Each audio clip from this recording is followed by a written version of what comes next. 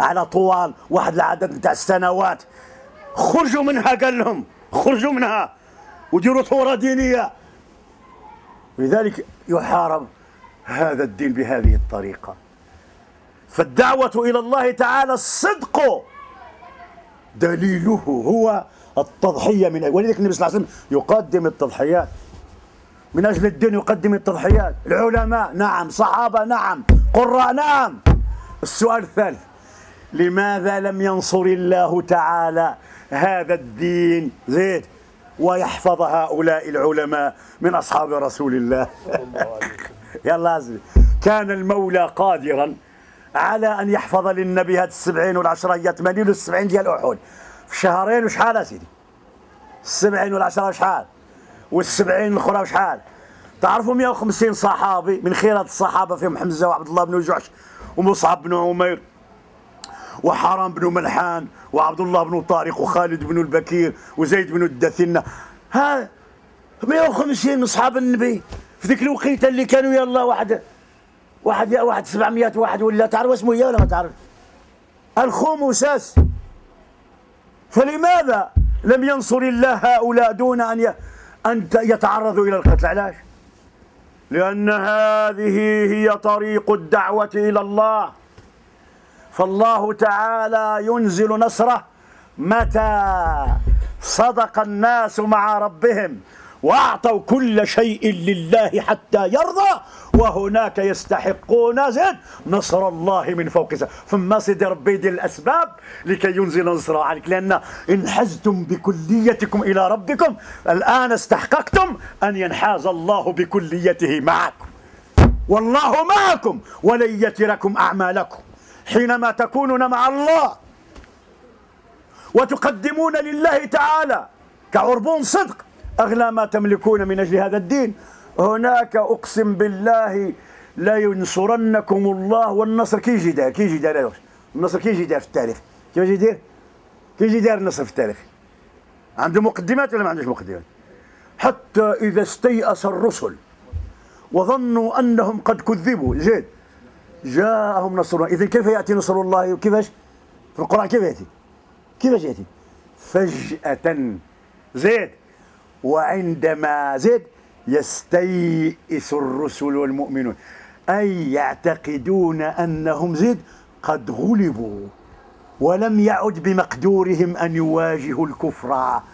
هناك حينما يصدق مع ربهم يفاجئ الله المؤمنين بنصر يأتي من حيث لم يحتسب. ثم رابعا إن هذه التضحيات التي نقدمها شو يقول لك؟ آه وشحال وأنتم كتقتلوا هذا الشيء الله يرحم لكم الوالدين ريحوا مع رسالكم يا سيدي غيرك تصلي روح من الجامع للدار والجامع للدار أختك انت سيدي. علاش علاش كتكلم على هذا الشيء؟ وخلي الناس اللي بغى يزهى ولا اللي بغى يشقى دبر راسك. خلي الناس راه في السعيديه 300000 واحد كيتعرى والراجل كيرفد بنته عريانة عندها 60 عندها 40 عام وهي عريانة ولا ما بالكم؟ الناس كتقول هكذا. خلى سيدي علاش تكلم؟ لتيئيس الناس.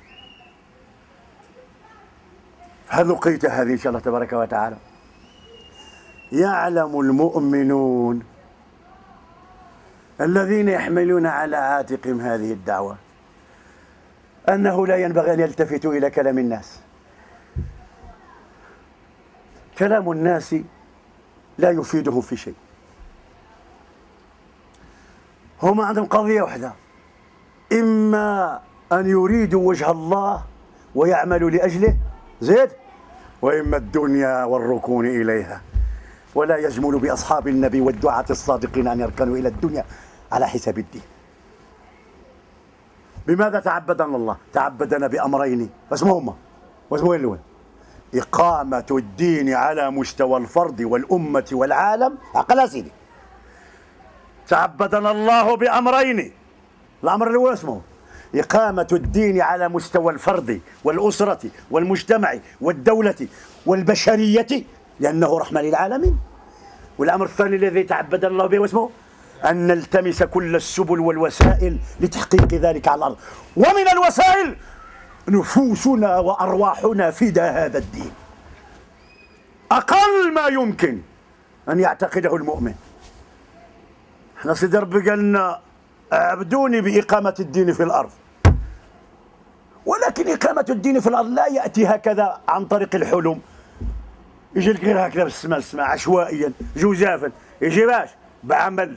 اتخاذ الأسباب دعوة جهاد تضحيات. إذا الإنسان يكون عارف مهني. ولذلك فالمؤمنون أمام هذه القضية الكبرى بين أمرين. إما أن يلتمسوا جميع السبل لتنزيل هذا الدين والدعوة إليه والتضحية من أجله ويعرفون أن هذا واسمه هذا هو طبيعة الطريق. وإما أن يلجأوا كما هذا العلماء تحت الزمان لمن؟ لمن نتكلم عليه واسمه يقول لك؟ كيدير لك الدروس في, في التلفزيون أنا بيدير لك. على الرحمة على السماحة على التسامح على العبادات على الوضوء على الصلاة على صلة الأرحام على بر الوالدين على حفظ الأمانة على الوفاء بالعهد على قول له يدير لك على محاربة المنكر. قول له يدير لك على محاربة الاستبداد. قول له يدير لك على استرجاع القدس والجهاد في سبيل الله. الجهاد كسبعت كلمة حرام محرمة. الجهاد لنصرة الدين أصبحت كلمة مطاردة. فيتحاشى العالم الآن الذي يقود الأمة أن يقول كلمة جهاد. من تقولوا يقول لنا الله يرحم لك الوالدي راه كاين واحد الظلم كبير نزع المسلمين وراهم كيتقتلوا. خصك تقول كلمة في حق هؤلاء الذين يسجنون ظلما وهؤلاء. يقول لك لا ماشي وقت. ولا إله إلا الله. وغيب اللاتي وغيب شوي شوي ومن بعد الدعوة صعبة وعلينا أن نتدرج وعلينا أن كذا. ويجد لذلك واسمه مجموعة من التبريرات الواهية في وقت واجب الوقت فيه أن تواجه أعداء الله. ولذلك الأمة محتاجة إلى ابن تيمية وإلى محمد بن عبد الكريم الخطابي الذين عملوا في الأرض. عملوا في الأرض. أعطوا الثمن. من أجل الدين. إحنا راك عارف شو كي دار الحركات الإسلامية اليوم هذاك ها؟ قلعوا لنا المسألة ديال العزة. يعني هذه كلها عن قضية بعث النبي للصحابة زين؟ وهو يعلم بعد أن وصله خبر مقتل أصحابه أن يرسل. ويأتي الخبر ويحزن صلى الله عليه وسلم. ولكن اسمه يزيد. مرة الثانية والثالثة والرابعة لأنها طبيعة الدعوة هكذا. لا بد أن نعبد طريق الدعوة بدماء الصادقين. قال سيد قطب رحمه الله. من قالوا له اكتب معالم الطريق. قالوا له الله يخليك إحنا نتوسطوا باش إن شاء الله تعالى يعفو عليك. فقط فقط تراجع عن أفكارك التي كتبتها وسود قلمك بها صحائف كتاب معالم في الطريق. قال إن السبابة التي ترتفع خمس مرات توحد الله. لا إله إلا لا يمكن ابدا أن تنحني لغير الله سبحانه هكذا. إذا كنت قلت الحق ماشي أنا اللي تنازل على الحق ولا كنت قلت الباطل. يديو ناس ديالنا يديو ولذلك قال كلماتنا تبقى ميتة وجثثا هامدة لا روح فيها ولا تدب فيها الروح حتى نسقيها بدمائنا. فإذا سقيناها بدمائنا دبت فيها الروح وعاشت بعدنا. الدرس الثالث. سيدنا حرام بن ملحان جبار بن سلمى يطعنه من خلفه فيقتله. فتدخل الحربة من ظهره غدرا. فتخرج من بطنه فيبتسم ويقول فزت ورب الكعبة. أقل. أول أول من قال فزت ورب الكعبة عندما استشهد هو حرام بن ملحان إحنا دائما نقولوا أول أول أول أول أول من سن سنة القتل زيد. خبيب بن عدي. أول من سن صلاة الصلاة في القتال زيد. عبد الله بن أنيس الأنصاري. اليوم أول من قال فزت ورب الكعبة شكون هو؟ حرام بن ملحان وابتسم. قال جبار بن سلمى فعجبت وأنا أقتل الرجل وأفنيه من الحياة. يقول فزت ورب الكعبة فتساءلت كيف فاز وقد قتلته؟ لأن قصار فهمهم كان يصل إلى أن قتل الإنسان هو وضع حد لحياته زد وقطع صلته بحياة المتعة. سيذهب إلى مكان يأكله الدود وينتهي ذكره. فكيف يقول في وقت يعتبر العرب في الجاهلية أن القتل هو نهاية الإنسان ويقول فزت ورب الكعبة؟ باش فاز باش. قتل وفاز ويبتسم قال فلما سألت من اللي ولا؟ قال صرت أسأل المسلمين. لماذا قال حرام قد ذكر الكلمة ولا سقط له في الرأس. لماذا قال حرام بن ملحان لما قتلته وطعنته غدرا. فزت ورب الكعبة وابتسم.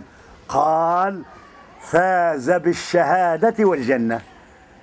فعلمت أن هذه الدنيا زيد ثانية هذه واحدة. ثانيا وأن الذي يقتل نصرة للدين شهيد حي. ثالثا زيد أن قال رسول الله صلى الله عليه وسلم أن الشهيد عند القتل لا يستشعر الألم أبدا. ك لا يستشعر إلا كما؟ ك اش ذيك أه. ديك الليبره باش الليبره ما دير السكر بدات تغير على السكر على دير. إلا كما تصيب نفسك بتلك الإبرة. نغزة نغزة. كل شيء اللي يجي يموت يتعذب. يعاني سكرات الموت. إلا الشهيد لا يستشعر ألم الموت حتى حتى الموت والسكرات ربي يخفف على الشهيد. الناس كتشوفه تفتت وضربوه بالبراميل المتفجرة وتشتت اللحم ديالو. حنا كتبان الصورة فظيعة لكن الشهيد لا يستشعر ألم الشهادة إلا كما يؤخذ أحدكم بإبرة. إبرة هكذا خليل ولذلك قال فزت برب الكعبة لم يكن يشعر إلا كما يشعر من وخز بإبرة. الله. فكان هذا دافع لجبار بن سلمى أن يسلم. قال أشهد أن لا إله إلا الله. الذي قتل سيدنا حرام أول قتيل يسلم علاش بكلمة واحدة قال فزت ورب الكعبة. لم يكن يعرف معناها. فلما عرف معناها أسلم وكان من هذه الأمة ومن خيار هذه الأمة. فكان هذا المشهد طرح عدة تساؤلات عند هذا الرجل وأسلم. يا الله. سبحان الله. المشهد يتكرر. الإنسان غادي عند سيدي ربي ومتيقن غادي عند سيدي ربي وفرحان بالشيء اللي قدمه لسيدي ربي وتعظم الفرحة أكثر من يكون غادي عند سيدي ربي ويقدم أغلى ما يحب الله وهو نفسك. يعني وصلت إلى قمة العطاء. فيبتسم الإنسان. ولا يهتز ولا يرتبك. ويقول ثلاثة المرات أشهد أن لا إله إلا الله حتى اختلف الناس فيه. حينما مات على هذه الطريقة وسمع العالم ثلاث مرات يتشهد الكل صار يكتب عن صدام. هل هو شهيد أو حتى قال بعض العلماء إن هذا الذي حدث لصدام لم يحدث لأحد في الأولين. علاش؟ لأن ما كانش من اللي ماتوا من قبله لا من الأنبياء ولا من الرسل ولا من شي واحد اللي سمعوا الشهادة نتاعو قبل الموت قد ما سمعوا لصدام. ما كانش لأن تواجد هذه الوسائل ديال التواصل في عالمنا المعاصر. ونقل للعالم مسألته. وسمع كاع العالم الشهادة. آه ربي ربي ربي والنبي بالك من مات وكان آخر كلامه من الدنيا؟ لا إله إلا الله دخل الجنة. هذا من مات؟ فكيف بمن قتل؟ وعلاش قتل؟ لأنه لم يريد أن يسلم العراق للصفويين. كان حلقة كان شوكة في حلق الصفويين الشيعة الملاعين الروافض. وكان حلق فاش في حلق شوكة في حلق أمريكا لأنه لم يريد أن زين يحرق البخور عند أعتاب البيت الأبيض. بغى شوية يستقل بغى غير شوية يستقل. ولذلك الكل نقم عليه. وثالثا كان يعاون الفلسطينيين. واليهود قالوا إن إقامة إسرائيل الكبرى تمر عن طريق بغداد. إن إقامة دولة إسرائيل الكبرى تمر عن طريق بغداد تدمير بغداد أي إسقاط النظام الذي لا زال يقدم الدعم للفلسطينيين. إذا هذا فزت ورب الكعبة. الدرس الخامس ما وقع لسيدنا عامر بن فهيرة. تعرفوا عامر بن فهيرة؟ شكون هو عامر بن فهيرة؟ الراعي نتاع سيدنا أبو بكر الله يرحمه والديك اللي كان مشارك في الهجرة بغنمه التي كان يمررها على آثار أقدام عبد الله بن أبي بكر وأسماء بنت أبي بكر في طريقها إلى الغار ياك رضي الله. منين كان هاد السبعين اللي صفتهم النبي صلى الله عليه وسلم لدعوتي إلى الله بني عامر. تعرفوا اسمه قال عليه المجرمة ديال عامر بن الطفيل؟ الملعون هذا عامر بن الطفيل. اسمه قال عليه؟ قال لهم من ذاك من ذاك الذي حينما ضربته بسيفي قتله رفع بين السماء والأرض. رفع زيد وشوف في هاك ونزل. قالوا ذاك عامر بن فهيرة. الله. قولوا لله يرحم لكم الوالدين من تبقى تقرأ على الصحابة وسيرة النبي صلى الله عليه وسلم. الإنسان يبقى مشدوها أمام صدق هؤلاء.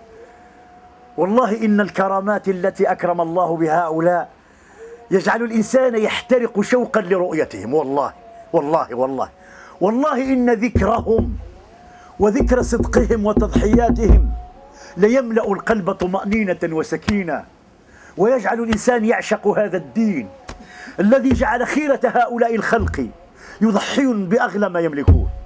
فيحتقر الإنسان نفسه. لأنه واحد العدد اللي ذكرت لكم كل واحد وكي دار له سيدي ربي. عاصم بن ثابت واش دار له سيدي ربي؟ زيد عاصم بن ثابت دار له سيدي ربي؟ السيل ودا خبيب بن عودة واش دار له سيدي ربي؟ دفن في مكان لا يعرفه إلا عمرو بن أمية الضمري. كل واحد وكيفاش دار له سيدي ربي سبحانه وتعالى. وهذا واش دار له سيدي ربي؟ رفعه الله. رفعته الملائكة. حتى غادي يغيب. لكن كان لابد أن يعود للأرض ليدفن فيها. حينما قتل رفع. تخيل يعني جسد يجندل والدم يسيل. هو ضرب يطيح هو اسمه دار؟ ضرب يطيح هو اسمه ده ارتفع. فدخل الربع الرعب. عاد فصار يتبعه ببصره. يلا يلا حتى كادت السماء تطبق عليه. فنزل. الله الله الله الله الله الله. لا إله عقل على هذه السماوات. نتلاقاو معهم غدا إن شاء الله. إن شاء الله يا رب. كما كنا نهضروا هنا في هذه الحلقة هذه يقول له الساعة مرة إحنا تكلمنا عليك الله يرحم والديك. الله يجازيك بخير. تكلمنا عليك في الهجرة وتكلمنا عليك حينما انتهت حياتك بالشهادة. ويأبى الله إلا أن يرفعك. يرفع جسدك. باش تبقى تخلد يخلد ذكرك بهذا. يخلد ذكرك بهذا. يستشهد ويرتفع ويرتفع الجسد. وهذه من الكرامات التي أكرم الله بهذا الرجل رضي الله عنه. عامر بن فهيرة هذا الرجل الرقيق الطيب الكريم. أنت ما تعرفش عليه في السيرة بزاف. ما تعرفش عليه تعرف قاتل في بدر وكاع ما مذكورش؟ يا كاس وقاتل في أحد والناس كاع ما ذكرتوش ولكن مذكور في الهجره بزاف ومذكور فين في هذه اللي. سبحانك يا ربي سبحانك. فرضي الله عن أصحاب رسول الله أجمعين. والدرس السادس هو ما وقع مع عمرو بن أمي الدمري حينما جاءه رجلان من بني عامر فتركهما حتى نام فقتلهما معتقدا أنه يأخذ بثأر أصحابه الذين قتلهم بنو عامر. ياك. قلناها إن شاء الله. فإذا وصل إلى النبي عرف أن الرجلين إنما لهما أمان من رسول الله فقال ويحك يا عمرو قتلت رجلين أعطيتهما الأمان. ما قالوش النبي مزيان راك قتلت هذوك الناس مقابل هذوك الناس مزيان. لأن فاللقيت واسمه. لقيت الإنسان يقول واسمه. أنا قتلوا لي 70 غدرا وأنت قتلت هذو زوج زوج ب 70 كيوان. كون حنا واسمه يقول مليح. مزيان النبي قال له لا أنا أعطيتهم الأمان. أنا لا اغفر ذمة أحد. أنا لا اغفر ذمة أحد. إنها المبادئ. إنها المبادئ. لنيدينهما أي لنؤدي الدية مقابل الرجلين. للقبيلة التي قتلت أصحابي تخيل قبيلة قتلت لي سبعين. واللي منع منهم قتل منهم زوج. ولأن النبي كان عطاهم الأمان. قال لهم إن شاء الله تبارك وتعالى غادي نخلصهم. يا الله. كيف غادي تكون هذه القبيلة؟ كيف سيكون أثر هذا الكلام وهذا التصرف وهذا الموقف للنبي مع قبيلة قتلت سبعين من اصحابه أنا هذا الكلام من نقولها له لكل من دخل إلى بلد أجنبي وأعطى وعدا لأحد من الناس. ودخل بالقانون تاع الناس. ماشي يقول هذو كفار راهم يستغلونا غادي ناكلهم. هذو كفار. كلاونا البلاد نتاعنا نمشي نغشهم ونسرقهم هذو كفار. ظلمونا وداونا نسالهم ندي لهم نساهم. لا يا أخي لا. عليك أن توفي بالعقود وجميع بنودها. مع أي كان يا أيها الذين آمنوا أوفوا بالعقود أنا أعطيتك التزام. أنا أوفي. أنا أوفي. قال لك ثلاثة نتاع الصوالح ديرهم مع المسلم والكافر والبر والفاجر. شكون هما؟ عقل عليهم الواش عقل.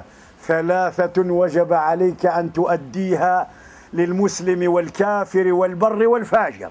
عقل عليها وشو ثلاثة وجب عليك أن تؤديها للمسلم والكافر والبر والفاجر والمؤمن والمنافق. كل شيء. الأولى واسمه هي؟ الوفاء بالعهد. أعطيت عهد أخويا. وفلوا العهد إلى مدتين. الثانية حفظ أمانته. الأمانة. والثالثة صلة الرحم. واخا يكون كافر ولا مشرك ولا بر ولا فاجر. يسلك صلة الرحم. ما تقوليش أنا ذاك عمي مكفس وكلاني وكذا وكذا. يسلك صلة الرحم. أو يا ربي. هذو ثلاثة. تعطيهم المسلم والكافر والبر والفاجر والمؤمن والمنافق. الوفاء بالوعد وتأدية الأمانة إذا استودعتها من قبل أي كان مسلم ولا كافر ولا اللي يبغي وصلة الرحم. كنت تعرفوا أسماء جات همها ومشركة. ما بغاتش تحلها الباب حتى رسلت النبي قالت له يا رسول الله أمي أتتني وهي راغبة. ما معنى راغبة؟ في الصلة راغبة في الخير. قال صلي أمك. لم يأتي الإسلام لتقطيع الرحم. إذا هكذا الرسول صلى الله عليه وسلم. يوفي العود. يقول لك ديروا لهم ما داروا لنا ندير لهم. قول له لا. ندير لهم كيما داروا الكفار. قول لهم لا. اسوتنا هو رسول الله. صلى الله عليه وسلم. قدوتنا هو رسول الله صلى الله عليه وسلم. هذه إن شاء الله السادسة. وأما السابعة لا إله إلا الله محمد رسول الله. قام حسان بن ثابت لما جاءه خبر استشهاد السبعين بقصيدة. قصيدة لأن كان هو اللي وزير الإعلام ديال الأمة. وكان رضي الله بالشعر ديالو يقلب المعارك يقلبها. يرفع معنويات الأمة. أكو تعقلوا من يمشى ذاك السيد يهرب لمكه وبقى كل مدينة كل دار يدخل لها يهجو صاحبه حتى لم يجد ذلك اليهودي كعب بن أسد اللي قتلوا الصحابة. لم يجد بيتا يأويه لأنه كان متبوعا بسهام الشعر. شكون هو اللي كان يديرها حسان بن ثابت. فقال قصيدة عظيمة. ومن جملة ما قال فيها أينكم يا بني عامر؟ كيف يخفر عامر بن الطفيل ذمة سيدكم عامر بن مالك؟ ملاعب الأسنة خذوا الثأر فسمعه أحد العرب من مشركي بني عامر فجاء بالسيف فضرب به عامر بن الطفيل شو الشعر واسمه ديالك شو الإعلام؟ الدور ديال الإعلام. الدور ديال الإعلام. يا الله. قال قصيدة واستحث فيها بني عامر يقول لهم أهانت عليكم أنفسكم أن تغفر ذمة عامر بن مالك سيدكم من قبل عامر بن الطفيل مجرم مجرم؟ جعلكم تخفرون ذمة سيدكم؟ خذوا ثأركم من هذا المجرم. فخرج أحدهم فضربه بالسيف لكن لم يقتله. فجيء إليه بهذا الرجل مكبلا. لكي يقتله. فقال عفوت عنك عفوت عنك. فإن شفيت من هذه الضربة كان لي فيك رأي سأراه فيك بعد أن أعالج. أما رسول الله صلى الله عليه وسلم. فرفع يديه إلى السماء يدعو على عامر بن الطفيل فقال اللهم اكفني عامرا. اللهم اكفني عامرا. اللهم اكفني عامرا.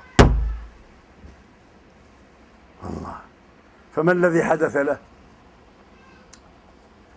دخل إلى بيته.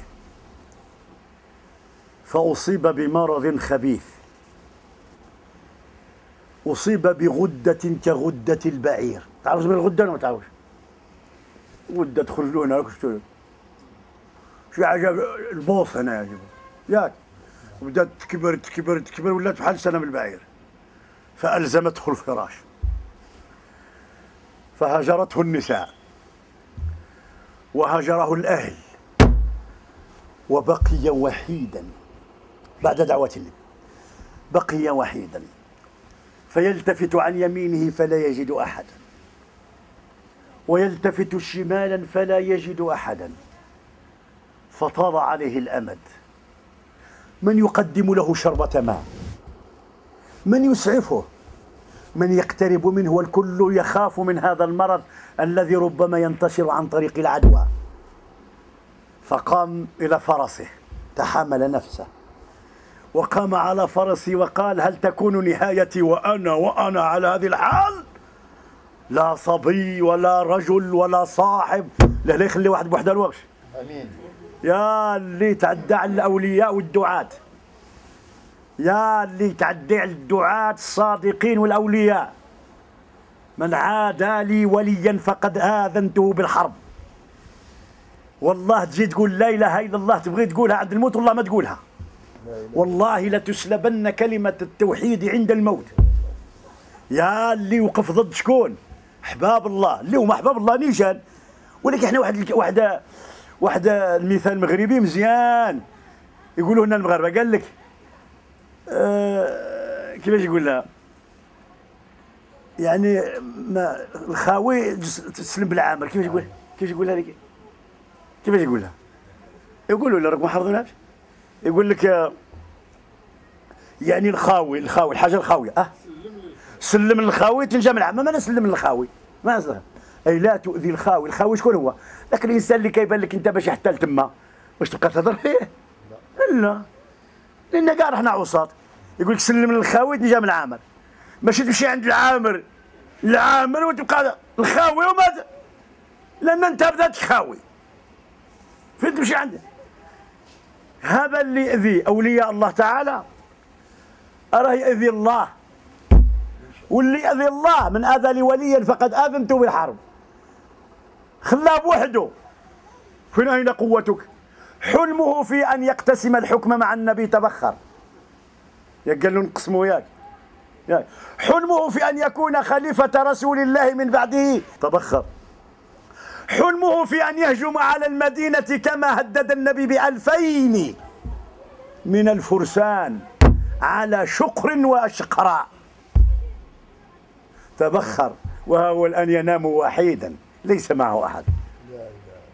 فتحامل فركب على فرسه ومات على فرسه. ركب على فرسه ومشى بعض الخطوات فسقط ميتا. بوحده وبهذا ننهي معكم. أعظم حدث في الدعوة إلى الله في سيرة النبي. علاش هو أعظم حدث ديال الدعوة؟ لأنه هو حدث خالص للدعوة. شحال فيه من داعية؟